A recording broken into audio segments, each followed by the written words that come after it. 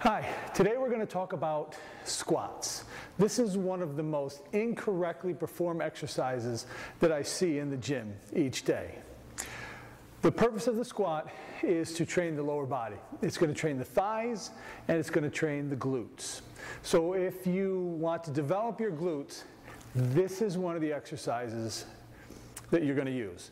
There's a few different pieces of equipment that go along with it, and that depends upon the intensity that you want to squat. We have the knee wrap for safety. It will create the hydrostatic pressure in the knee and it'll help protect the knee from injury. We also have the weight belt. This is a 13 millimeter uh, powerlifting style weight belt. And that's going to protect you from hernia and it's going to protect your lower back at the same time.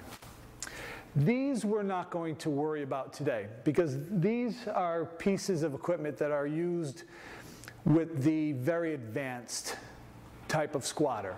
Okay? And today we're going to go uh, through the form. We're going to show you the proper form.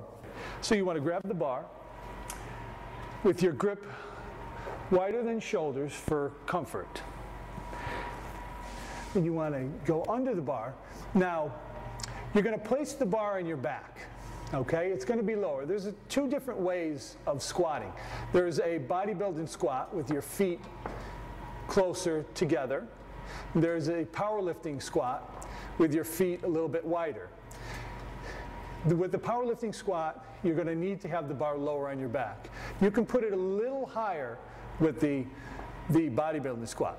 We're going to do more of the powerlifting type squat because it's a little less invasive on your back.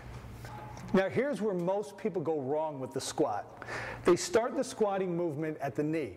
If you start your squatting movement at the knee, what happens is it throws your knee forward, it throws your body out of position, and you cannot proper align yourself to do a proper squat.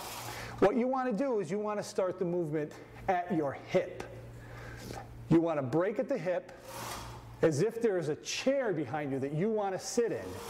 And then you're going to go down to parallel and then back up to your first position. And you want to do that over several times. Depending on what your goals are, you're going to pick a weight and uh, amount of repetitions. So that's the squat, the proper way to do a squat. And train hard, train smart, train safe, and I'll see you in the gym.